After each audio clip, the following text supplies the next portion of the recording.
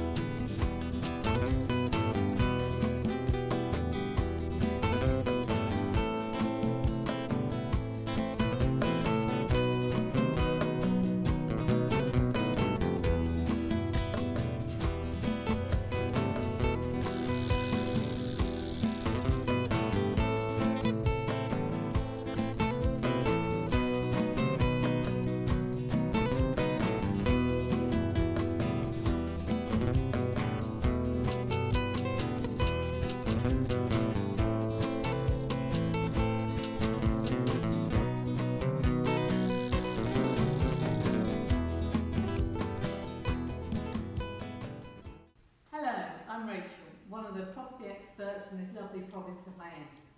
If you'd like some more information on properties, you can click on the button here or the button below.